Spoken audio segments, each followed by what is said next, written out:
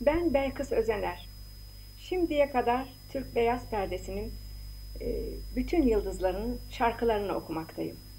Başta Türkan Şoray, Hülya Koçyiğit, Filiz Akın, Fatma Girik gibi. Efendim, Belkıs Özener'i gördünüz, tanıdınız.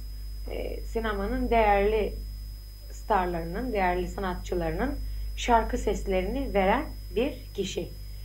Bu Belkıs Özener aslında benim öz ve öz kız kardeşimdir.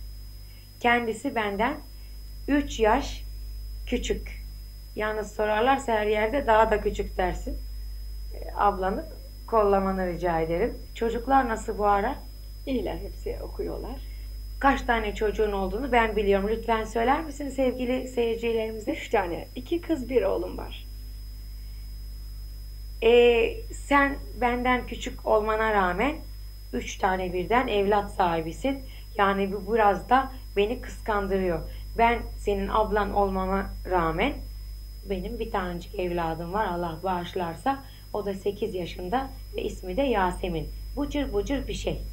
Bugüne kadar kendisine hiç yardımım olmadı. Tamamıyla kendi yeteneğiyle, e, kendi gayretiyle bu yere gelmiş bir kişidir. Ve ben ona abla olarak, gönül yazar olarak, tanınmış bir ablası olarak destek değil, bilakis köstek oldum. Evet abla, başlangıçta bana köstek değil, kötek bile atmıştım. Fakat sonra bir tesadüf eseri ben de şarkıcı oldum. Muhitimizde Metin Dükey vasıtasıyla Türk Beyaz Perdesi'ne bir e, ses aranıyor Belkıs dediği zaman kabul eder misin? Hay hay dedim ve o günden beri e, Türk star, e, sinemasının starlarını şarkılarını okuyorum. Tabii bu benimle mikrofon ve yalnız başıma bir odada ol, oldu. Toplum içerisine fazla giremedim ve tabii yabancıyım. Ve değerli seyirciler, kıymetli konuklar, Belkıs Özener ilk kez sadece sesiyle değil, görüntüsüyle de milyonların karşısına çıkıyor. Saadettin Kaynağ'ın ünlü bir yapıtıyla geliyor. Engin'de yavaş yavaş. Evet.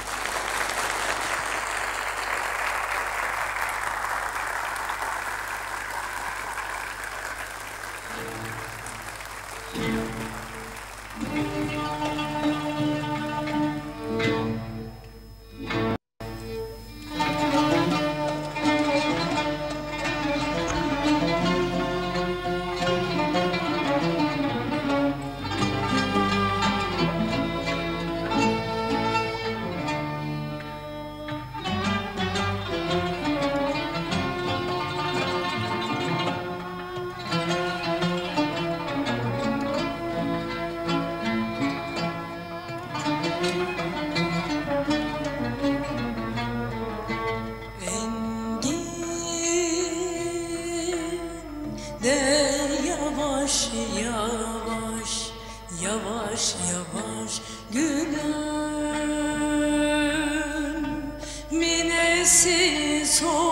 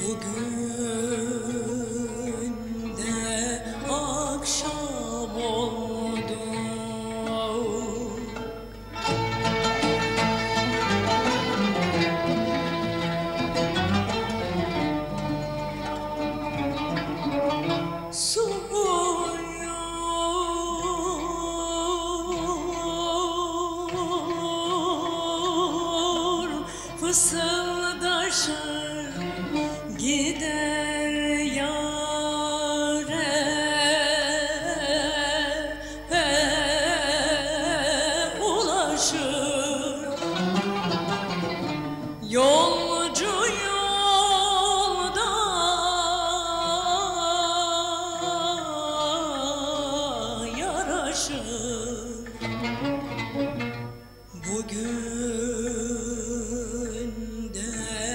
akşam oldu